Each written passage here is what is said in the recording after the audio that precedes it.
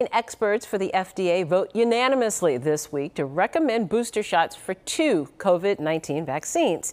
Here to answer your questions is Dr. Emily Hyle, an infectious disease specialist at Mass General Hospital. Thanks for being with us. Good morning. Good morning. It's been a very busy week for the FDA. First, Moderna. More than 2.6 million people in Massachusetts have received both doses of the vaccine. Why did the panel decide to recommend the booster dose for seniors and other high risk groups? So the panel reviewed the data that was provided by Moderna and the CDC regarding the safety and effectiveness of a booster dose after those two original doses of Moderna vaccine.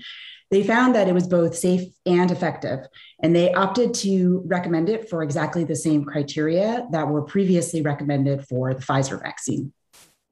Is the Moderna booster the same dose as the first two shots? It's a really good question because it is different. So the Moderna booster is going to be a half dose compared to the first two doses. That's different from the Pfizer booster, which is the same dose as the first two. So that is really important for people when it becomes fully approved uh, when they go to get their booster to be sure that they are asking for that Moderna booster um, so that they get that appropriate half dose. Very important to be clear there. And nearly 315,000 people in Massachusetts received the J&J, the single dose vaccine. Why is the panel recommending that all of them, even healthy adults, get the second shot at least? And now this is different to two months after the initial one. So this is a really exciting update for so many people who did receive the J&J vaccine. Um, as you mentioned, there are a lot of them uh, in Massachusetts and around the country. Um, overall, the effectiveness of the J&J vaccine has been less in terms of preventing hospitalizations and severe cases of COVID compared to the Pfizer and Moderna doses. Um, therefore, when the panel looked at all of the data provided around the J&J uh, two doses given two months or six months um, after that first dose. They opted to approve um, a second dose, that booster, at two months. Um, in order to improve the effectiveness overall of the J&J vaccine.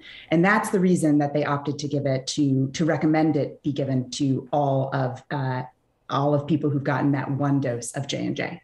Thanks for clarifying the distinction there. The panel's recommendation for Moderna and J&J now go to the full FDA and then the CDC for that final decision.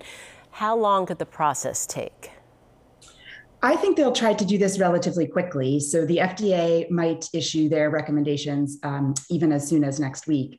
Um, and then it will be on the ACIP agenda shortly thereafter. We've seen from before this moves pretty quickly. Um, so I would expect it to move in the next week or two.